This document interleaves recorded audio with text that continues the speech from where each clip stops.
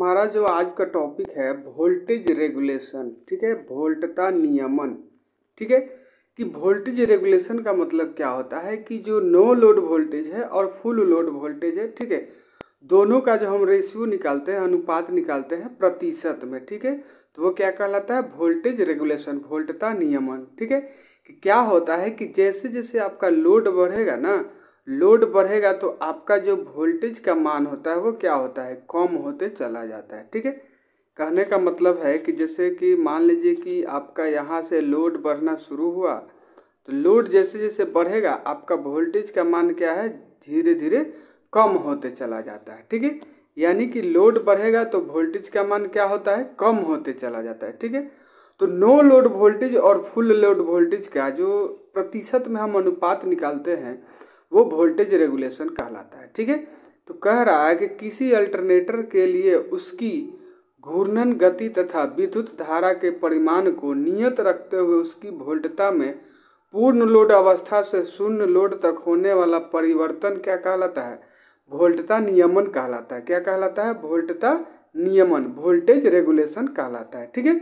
Voltage regulation को हम लोग क्या करते हैं कि वी आर से सूचित करते हैं, ठीक है? और वी आर जो होता है, ये क्या होता है इसका मान जो होगा, आपका प्रतिशत में होता है। क्या होता है? प्रतिशत में, ठीक है? तो इसका सूत्र जो होता है आपका V N L N L कहने का मतलब हो जाता है नो लोड वोल्टेज, ठीक है?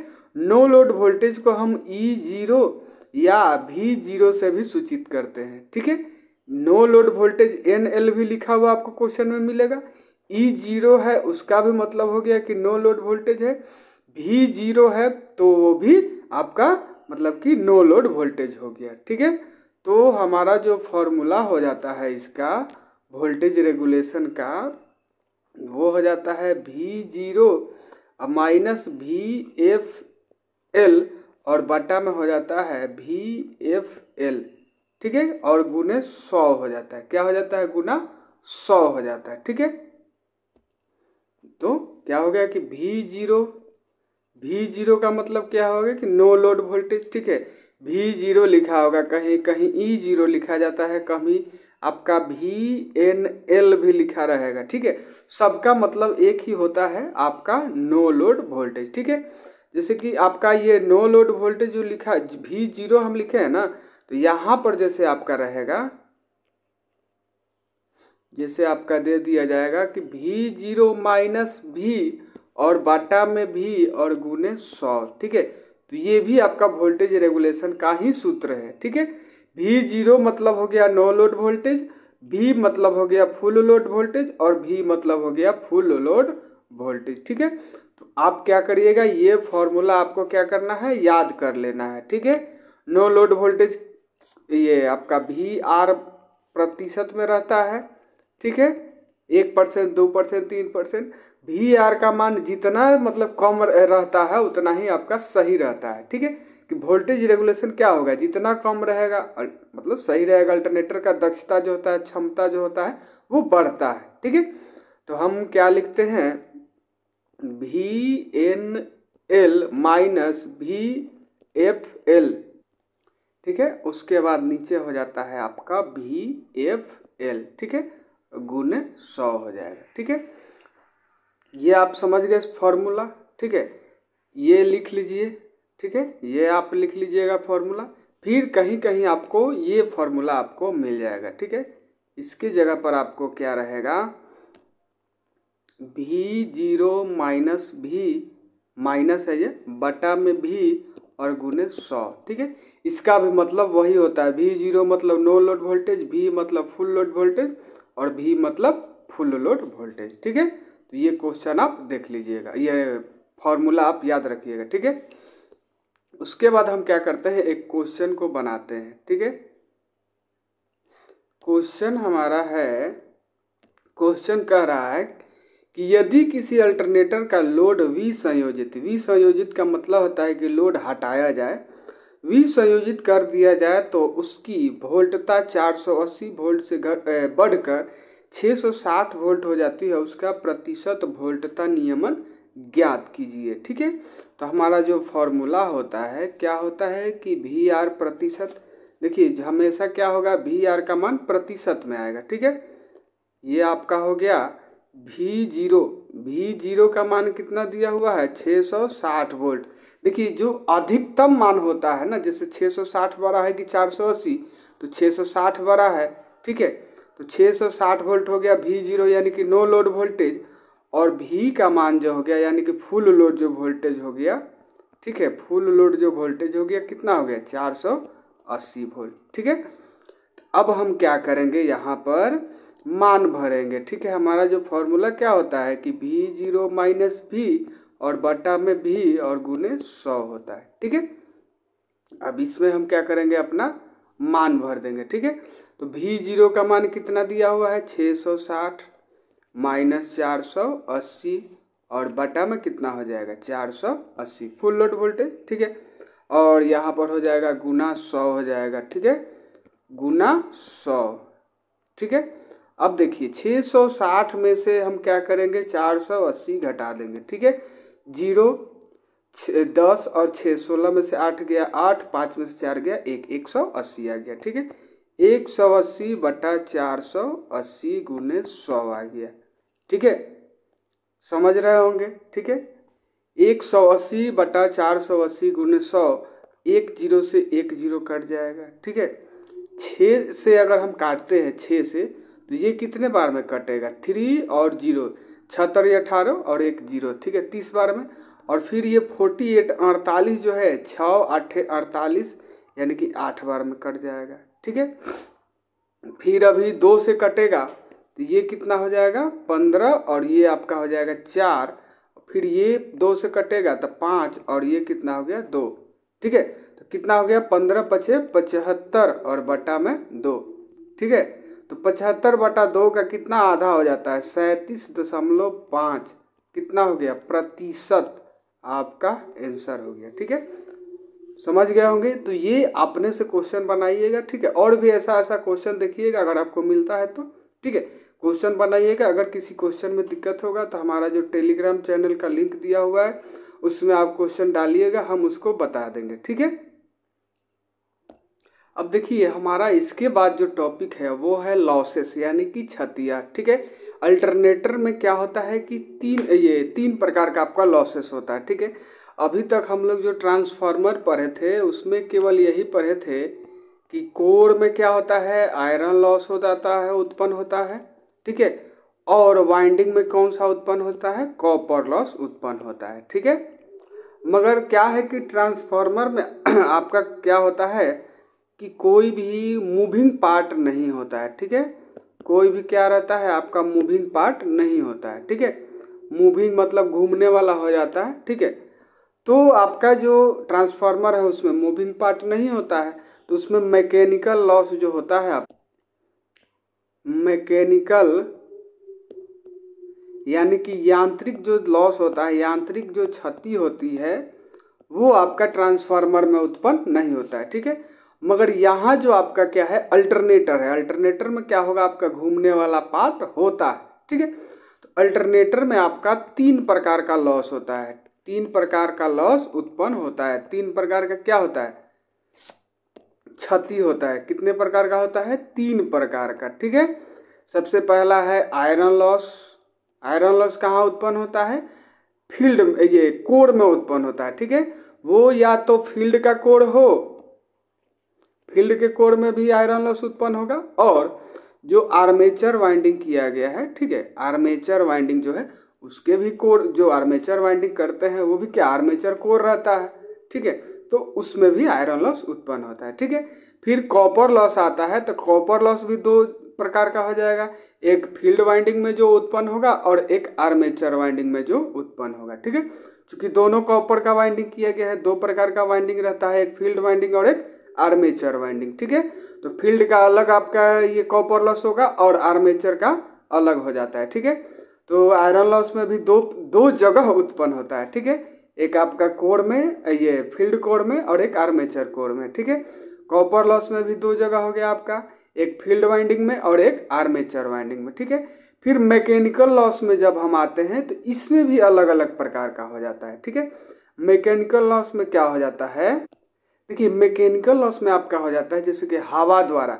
जैसे कि जो आर्मेचर आपका क्या है आर्मेचर जब घूमता है तो चूँकि अल्टरनेटर के अंदर क्या है, ये कोर और जो आर्मेचर होता है, जैसे कि ये आर्मेचर का हो गया और ये आपका वाइंडिंग का कोर हुआ ये दोनों के बीच में खाली स्थान जो रहता है, वहाँ खाली स्थान तो नहीं है, वहाँ पर वायु है, हवा है, ठीक है। कि जहाँ भी आपका खाली जगह है, वहाँ पर तो हवा रहेगा, ठीक है?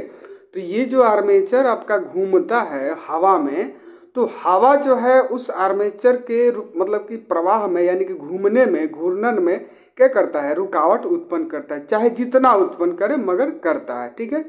तो जो एयर एयर फ्रिक्शन लॉस हो जाता है, और जो बेयरिंग जो होता है, जो बैरिंग हम लोग कहते हैं, ठीक है? कि क्या होता है कि जो आर्मेचर है, वो दो बैरिंग पर स्थापित रहता है। ठीक है? कि जो आर्मेचर रहता है, क्या रहता है? दो बैरिंग पर स्थापित रहता है। ठीक है? दो बैरिंग लगाया जाता है किस लिए? फ्री घूमने के लिए। ठीक है? तो ये जो बैरिंग है, यहाँ पर कौन सा लॉस उत्पन्न होता है? फ्रिक्शन फ्रिक्शन कहने का मतलब हो जाता है घर्षण लॉस ठीक है? तो ये जो एयर लॉस हो जाता है, यानी कि एयर फ्रिक्शन लॉस हो जाता है या जो बैरिंग द्वारा फ्रिक्शन यानी कि घर्षण उत्पन्न किया जाता है, ठीक है? ये सब क्या हो जाता है आपका? मैकेनिकल लॉस में आ जाता है, ठीक है? मैकेनिकल लॉस में आ जाता है, ठीक है? समझ गए होंगे कि आपका जो अल्टरनेटर है, उसमें कितने प्रकार का लॉस हो जाता है? अल्टरनेटर में अल्टरनेटर में आपका आर, ये आयरन लॉस हो जाएगा, उसके बाद आपका कॉपर लॉस हो जाएगा, ठीक है? उसके बाद फिर आपका कौन सा लॉस हो जाता है? मैकेनिकल लॉस, यानी कि यांत्रिक क्षति, ठीक है? तो क्या हो जाता है कि सबसे पहला जो हमारा है, वो है आयरन लॉस, ठीक है? Iron loss. जिसे हम क्या कहते हैं? लौह क्षति कहते हैं। क्या कहते हैं? लौह क्षति, ठीक है? तो आयरन लॉस कहाँ कहाँ उत्पन्न होगा? तो आपका उत्पन्न होगा फ़ील्ड वाइंडिंग के कोर में फ़ील्ड वाइंडिंग का जो कोर रहेगा और जो आर्मेचर का कोर रहेगा, आर्मेचर कोर में, ठीक है? दो जगह उत्पन्न हो जाता है, आयरन लॉस, ठीक है? आयरन लॉस होता क्या है? तो आयरन लॉस ऐसे कोई लॉस है नहीं, ठीक है?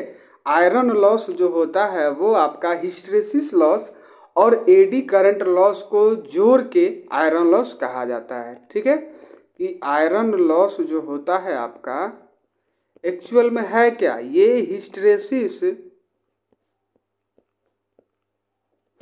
हिस्ट्रेसिस लॉस और plus eddy current loss eddy current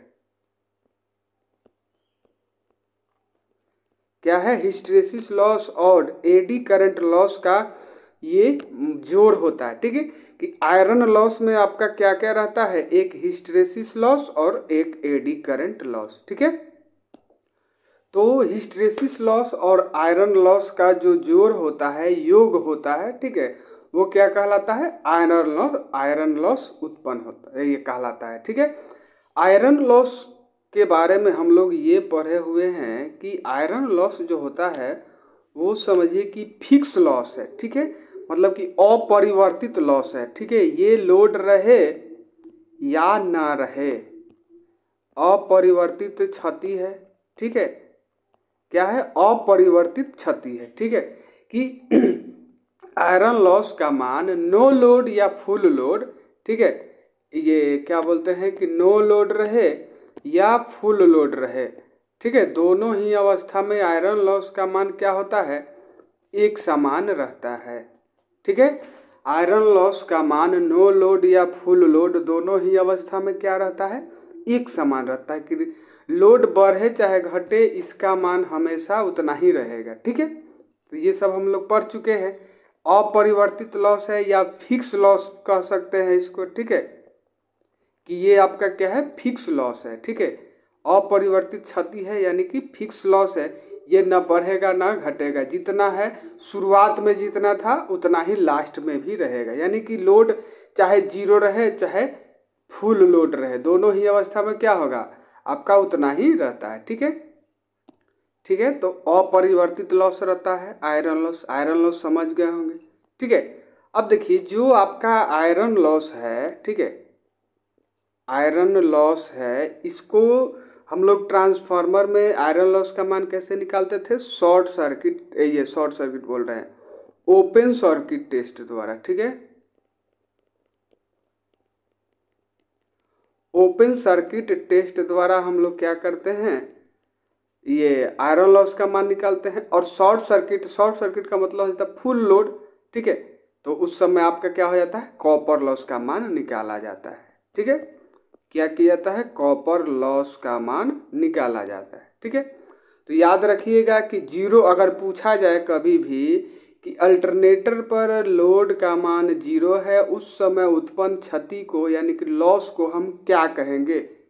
iron loss होता है, ठीक है? कि लोड उस पर जुटे मतलब कि लोड रहे या ना रहे, कौन सा लॉस रहेगा? आयरन लॉस हमेशा रहता है, ठीक है?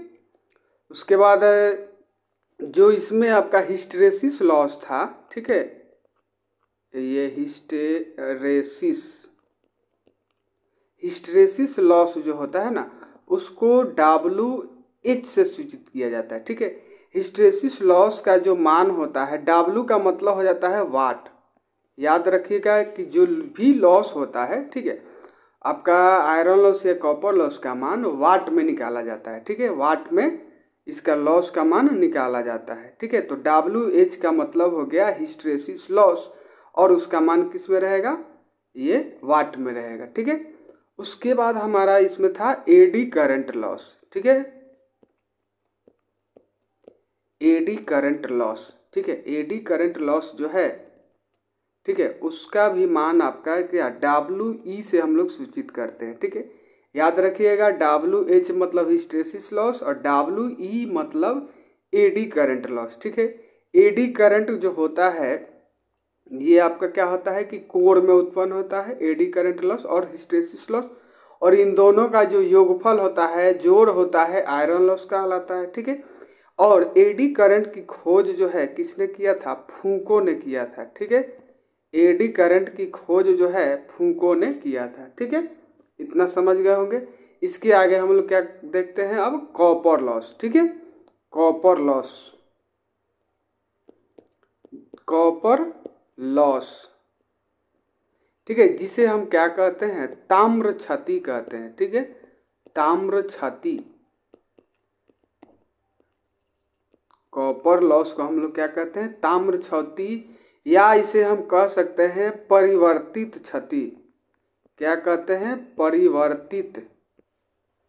क्षति यानी कि देखिए, ये आपका क्या है कि लोड जितना रहेगा, ठीक है, कि इसका अगर हम डायग्राम बनाते हैं, ठीक है तो यहाँ से जैसे कि आपका हुआ ना तो जैसे जैसे आपका ये लोड बढ़ेगा, लोड, ठीक है, जैसे लोड बढ़ रहा है तो आपका जो कॉपर लॉस का मान है वो भी बढ़ते चला जाएगा, ठीक है।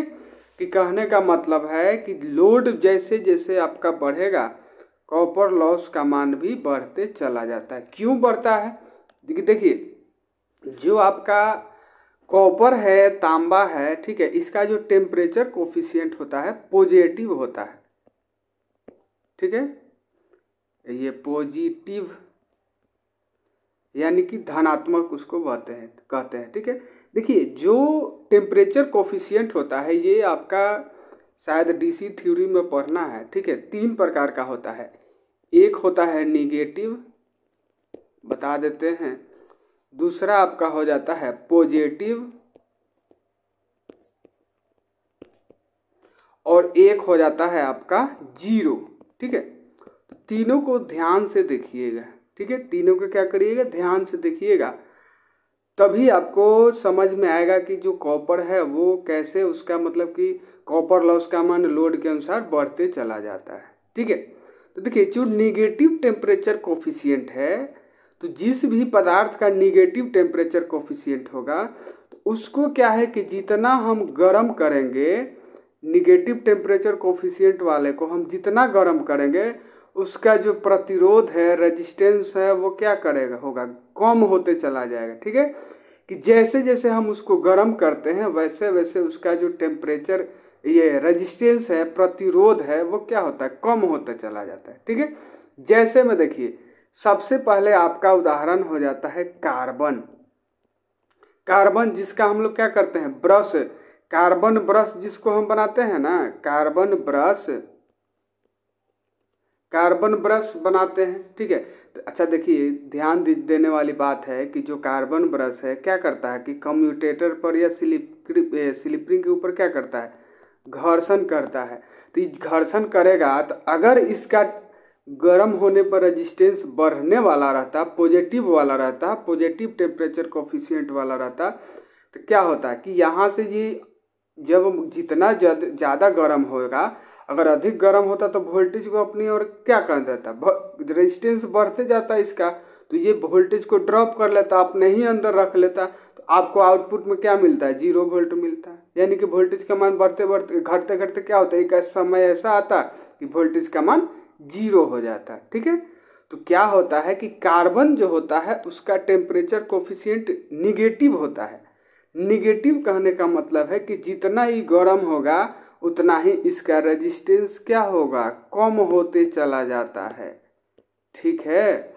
कम होते चला जाता है तो जितने कम होगा तो क्या होगा कि कम होते चला जा रहा है? तो गर्म होवे करेगा, जब स्लिपरिंग पर क्या होगा? ये घर्षण करेगा, ये स्लिपरिंग है, इस पर घर्षण करेगा। तो जितने घर्षण करेगा, इसका रेजिस्टेंस क्या होगा? कम होते चला जाएगा। जितने कम होते चलेगा आपका वोल्टेज ड्रॉप कम होते चला जाएगा तो वोल्टेज क्या होगा? जितना आर्मेचर में उत्पन्न हुआ, उतना हमको टोटल मिल जाता है, ठीक है? समझ गए होंगे निगेटिव टेम्परेचर कोफिशियंट किसका रहता है? कार्बन का रहता है, और दूसरा जो हम लोग इलेक्ट्रोलाइट प्रयोग करते हैं, क्या प्रयोग करते हैं? इलेक्ट्रोलाइट जिसे हम लोग क्या बोलते हैं, जो बैटरी में हम लोग प्रयोग करते हैं, ठीक है इलेक्ट्रोलाइट उसको बोला जाता है, ठीक है इलेक्ट्रोलाइट जो बैटरी में हम लोग तेजाब प्रयोग करते हैं, उसको इलेक्ट्रोलाइट बोला जाता है, ठीक है, ये भी निगेटिव टेम्परेचर वाला होता है कि जितना गर्म होगा, इसका रेजिस्टेंस क्या होता है, कम होते चला जाता है, ठीक है, समझ गए होंगे निगेटिव टेम्परेचर कोफिशियंट ठीक है, उसके बाद हमारा आ जाता है पॉजिटिव पॉजिटिव वाला देखिए, उल्टा हो जाता है जब हम पॉजिटिव में जाएँगे तो पॉजिटिव में क्या हो जाता है? उल्टा हो जाता है।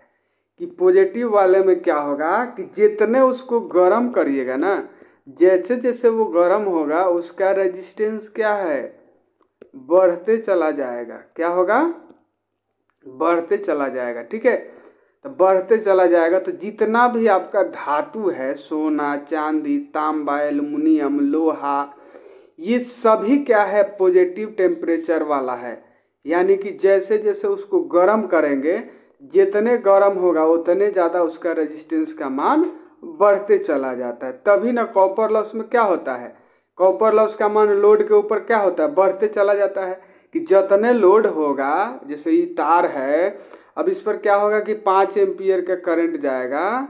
ठीक है? तो देखिए जो आपका टेम्परेचर होता है ना, उसका फॉर्मूला होता है आई स्क्वायर इंटू आर ठीक है, जब आप पढ़िएगा, ठीक है, यही होता है दिक्कत। अगर शुरू से नहीं पढ़िए तो थोड़ा दिक्कत हो जाता है, ठीक है? ये समझिए आई स्क्वायर इंटू आर जो है ना आपका पावर का सूत्र हो जाता है। तो गर्म जो होगा ना, वो भी आपका इसी पर निर्भर करता है कि कितना गर्म होता है, ठीक है? तो जो करंट आपका प्रवाहित होता है वायर के, उसके दोगुना मतलब कि समझिए कि ये आपका तार जो है गर्म होते चला जाता है, ठीक है? कि जितने आपका रजिस्ट, ये हम क्या करेंगे, जितने तार को गर्म करेंगे, उतने उसका रजिस्टेंस बढ़ते चला जाता है, ठीक है? तो कॉपर का तार मान लीजिए कि शुरू में पाँच एम्पियर था तो कम गर्म था। जैसे जैसे तार पर करंट का मान बढ़ते चला जाएगा, वैसे ही क्या होगा? गर्म होगा। तार गर्म होगा तो रजिस्टेंस बढ़ते चला जाएगा। जैसे जैसे इसका मान बढ़ते जाएगा मतलब आई स्क्वायर इंटू आर से आप क्या कर सकते हैं? कॉपर लॉस का मान निकाल सकते हैं। ठीक है? कि वो क्या होता है? कॉपर लॉस का मान निकाल सकते हैं। कि जितने करंट बढ़ेगा, उतने रजिस्टेंस बढ़ेगा। और जितने करंट और रजिस्टेंस बढ़ते जाएगा कॉपर लॉस का मान भी बढ़ते चला जाता है। ठीक है? इसीलिए देखिए, जो भी आपका मशीन होता है चाहे अल्टरनेटर रहे, चाहे ट्रांसफार्मर रहे या मोटर रहे, मोटर में देखिए क्या लगा दिया जाता है? कूलिंग फ़ैन लगाया जाता है। काहेला? ठंडा रखने के लिए। क्यों ठंडा रखेंगे भाई? हम कहा ला एक्स्ट्रा एगो पंखा लगा देंगे कि तुम ठंडा भी हो जा। वो भी तो बिजली खर्च कर रहा है। अब मान लीजिए कि गाड़ी जा रहा है मतलब समझिए कि फ़ैन ये चल रहा है मोटर तो ऊपर जितना लोड जोड़ेंगे उतने तो हमको बिजली खर्च ज़्यादा होता जाएगा। तो कूलिंग फ़ैन हम कहाँ लगाएँगे? तो कूलिंग फ़ैन अपना फ़ायदा के लिए लगाते हैं। कि कूलिंग फ़ैन इसलिए लगाते हैं कि जो आपका ये आर्मेचर पर जो वाइंडिंग किया गया है, या मान लीजिए कि स्टेटर पर या रोटर पर जो वाइंडिंग किया गया है, ये तारवा हमारा क्या हो? कि ठंडा होते रहे। जितने ये ठंडा होगा, उतना ही इसका क्या होगा? कि जितने ठंडा होगा, उतने रेजिस्टेंस कम रहेगा। तो कॉपर लॉस का मान हमारा कम रहेगा। जितने कॉपर लॉस का मान कम रहेगा, उतना ही हम, हमारा क्या है? दक्षता जो इफिशियंसी होता है मशीन का, वो बढ़ते जाएगा। दक्षता का मतलब क्या हुआ? कि आउट जो हम इनपुट दे रहे हैं और जो आउटपुट ले रहे हैं, दोनों का अनुपात क्या हो जाता है? दक्षता हो जाता है। इसके बाद हमें दक्षता ही पढ़ना है, ठीक है? तो इनपुट आउटपुट का जो आउटपुट जो मिला और इनपुट हम जो दिए, उसका अनुपात दक्षता हो जाता है, ठीक है? तो ये वाइंडिंग का तार जितने ठंडा रहेगा, उतने रेजिस्टेंस कम रहेगा, और जितने रेजिस्टेंस कम रहेगा, उतने हमारा कॉपर लॉस का मान कम होगा, ठीक है? तो फिर हमारा क्या होगा कि यांत्रिक, ये दक्षता जो होता है इफिशियंसी जो होता है, वो बढ़ते चला जाता है, ठीक है? तो कहने का मतलब है, समझ गए होंगे कि पॉजिटिव टेम्परेचर कोफिशियंट का मतलब क्या हुआ? पॉजिटिव टेम्परेचर कोफिशियंट का मतलब हुआ कि जितने गर्म करेंगे, उतने उसका रेजिस्टेंस का मान बढ़ते जाएगा, ठीक है? निगेटिव में क्या था? उल्टा था कि गर्म करेंगे तो रेजिस्टेंस कम हो जाएगा। पॉजिटिव में है कि जितने गर्म करेंगे, उसका रेजिस्टेंस बढ़ते चला जाएगा। इसमें कौन कौन होता है? जैसे कॉपर हो जाता है कॉपर हो गया एल्युमिनियम हो गया, सोना, यानी कि सोना हो गया, चांदी हो गया, लोहा हो गया यानी कि कहने का मतलब जितना भी आपका धातु है ना, सब पॉजिटिव में आ जाता है। ठीक है? लगभग में। ठीक है? उसके बाद आपका लास्ट है ज़ीरो देखिए ज़ीरो जो होता है ना ज़ीरो कोफिशियंट का मतलब हुआ कि इसका जो है गर्म करिए चाहे ठंडा करिए रेजिस्टेंस का मान उतना ही रहेगा। ये तो ज़ीरो ज़ीरो है, यानी कि ये कांस्टेंट इसको बोला जाता है कांस्टेंट कांस्टेंट ये टेम्परेचर कोफिशियंट ताप गुणांक। टेम्परेचर कोफिशियंट को हिंदी में बोला जाता है ताप गुणांक। ताप गुणांक, ठीक है? कि ज़ीरो टेम्परेचर कोफिशियंट वाला, यानी कि शून्य ताप गुणांक वाला, या कांस्टेंट मतलब स्थिर हो जाता है, ठीक है?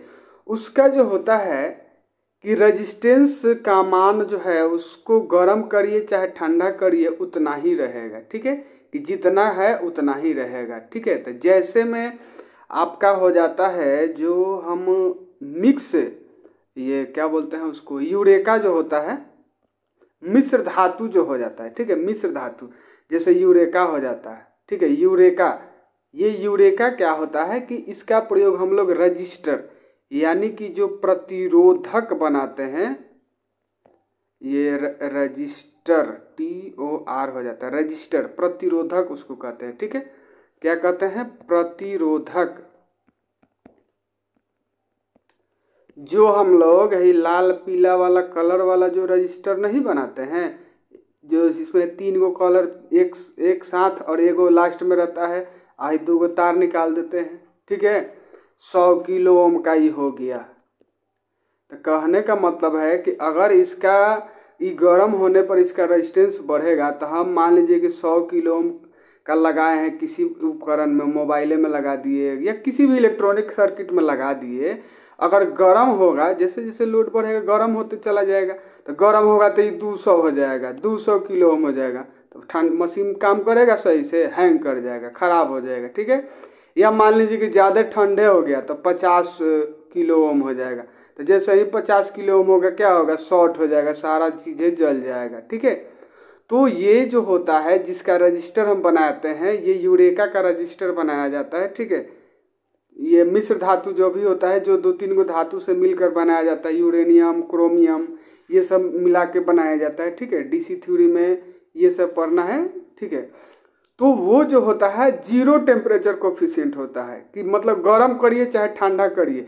इसका जो आपका क्या है, ये रेजिस्टेंस का मान है वो न बढ़ेगा, न घटेगा, ठीक है?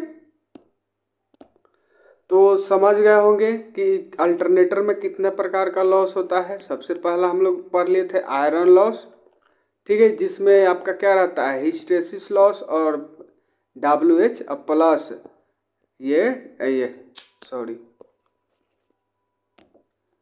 ये हिस्टेसिस लॉस और प्लस एडी करंट लॉस। क्या हो गया? आयरन लॉस हो गया। ठीक है, आयरन लॉस बराबर क्या हो जाता है? Hysteresis loss plus eddy current loss. ठीक है, समझ गए? उसके बाद हमारा आ जाता है कॉपर लॉस। तो देखिए, कॉपर लॉस जो होता है, आपका स्टेटर, ये स्टेटर बोल रहे हैं। स्टेटर ये पर जो वाइंडिंग किया गया है, ठीक है? स्टेटर फ़ील्ड, स्टेटर छोड़िए इसको। कॉपर लॉस जो होता है आपका, जो फ़ील्ड वाइंडिंग किया गया है और जो आर्मेचर वाइंडिंग है, ठीक है? Field winding plus armature winding ठीक है? ये दोनों में जो आपका मतलब कि ये लॉस होगा दोनों में मिला के चूँकि दोनों में वाइंडिंग किया गया है तो वो कॉपर लॉस का मान हो जाता है, ठीक है? हो गया? फ़ील्ड वाइंडिंग में जो और आर्मेचर में जो दोनों में उत्पन्न हुआ, वो क्या कॉपर लॉस हो जाता है, ठीक है? ये जो इसका फॉर्मूला होता है आई स्क्वायर इंटू आर होता है, ठीक है? ये याद रखिएगा। आई स्क्वायर इंटू आर ठीक है? ये आपका पावर का सूत्र है, समझिए कि ये पावर हम निकाल सकते हैं इससे, ठीक है? आई स्क्वायर इंटू आर से, ठीक है? ये डीसी थ्योरी में ये भी है, ठीक है? ये अभी पढ़ लिया जाए सिलेबस ख़त्म हो जाएगा, उसके बाद जब समय अगर मिलेगा तो फिर हम ये सब भी A C theory D C theory जो भी हमारा फ़र्स्ट ईयर का सिलेबस छूट रहा है, सभी हम डिटेल में आपको कोशिश करेंगे कि बता दें, ठीक है? तो उसके बाद हमारा देखिए, क्या, कौन सा लॉस था? मैकेनिकल लॉस ठीक है? मैकेनिकल लॉस जो होता है, यानी कि उसको हम क्या कहते हैं? यांत्रिक क्षति ठीक है, यांत्रिक क्षति जो होता है लॉस जो होता है, वो आपका कहाँ उत्पन्न होता है? एयर लॉस देखिए, यांत्रिक क्षति जो है, आपका तीन जगह उत्पन्न हो जाता है, ठीक है? एक हो जाता है वायु घर्षण। क्या हो गया? वायु घर्षण, ठीक है? अब प्लस में क्या हो जाएगा? आपका बेयरिंग घर्षण। R, I, N, G, P, E, A, R, I, N, G, I, N, G, bearing हो जाता है। अब प्लस कम्यूटेटर पर घर्षण, यानी कि कम्यूटेटर नहीं, ब्रश का घर्षण लिख सकते हैं। ठीक है, कार्बन ब्रश का। देखिए, जो आपका यांत्रिक लॉस है कहाँ कहाँ उत्पन्न होता है? तो वायु घर्षण वायु घर्षण हम बताए हैं कि क्या है कि जो स्टेटर है और रोटर है, दोनों के बीच में कुछ गैपिंग रहता है। उस गैपिंग में आपका रोटर घूमता है और रोटर घूमता है तो इन दोनों के गैपिंग में क्या है? हवा भरा हुआ रहता है। हवा रहता है, हवा तो नहीं खाली हो सकता है। तो क्या किया जाता है? मतलब वो हवा जो है, आर्मेचर के यानी कि रोटर के घूमने में क्या करता है? बाधा उत्पन्न करता है। तो वो वायु घर्षण कहलाता है।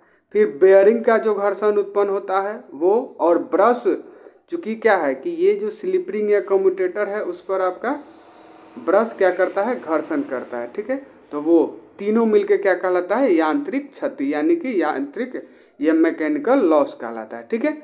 अब देखिए, एक आपका हो जाता है स्ट्रे लॉस स्ट्रे लॉस हो जाता है, ठीक है? स्ट्रे लॉस जो होता है ना, ये याद कर लीजिएगा कि आयरन लॉस और plus mechanical loss C H A N I C A L mechanical loss ठीक है? कि आयरन लॉस और मैकेनिकल लॉस का योगफल जो होता है ना स्ट्रे लॉस कहलाता है, ठीक है? स्ट्रे लॉस कहलाता है, ठीक है? आयरन लॉस और मैकेनिकल लॉस को जब हम जोड़ देंगे तो क्या होगा? स्ट्रे लॉस हो जाएगा, ठीक है? तो आज के लिए इतना ही, वीडियो बहुत बड़ा हो गया, ठीक है? फिर अगले वीडियो में हम लोग क्या पढ़ेंगे? इफिशियंसी पढ़ेंगे। दक्षता पढ़ेंगे, ठीक है? क्या पढ़ेंगे? दक्षता पढ़ेंगे, ठीक है?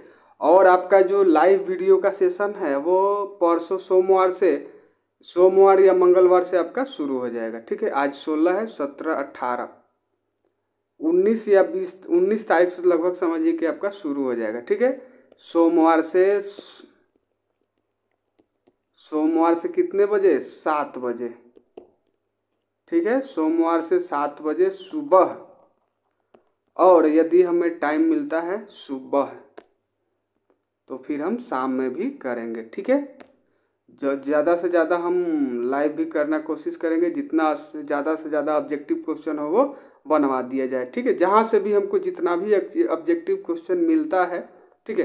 क्योंकि जो ही जहाँ से मिले बुक से मिले या कहीं से कहीं से या हमारे पास जो है वो सब हम कोशिश करेंगे कि जितना ज़्यादा से ज़्यादा हो आपको प्रैक्टिस करा दिया जाए। ठीक है? थैंक यू दोस्तों। वीडियो को पूरा देखिएगा और चैनल को लाइक एंड सब्सक्राइब करिएगा। ठीक है?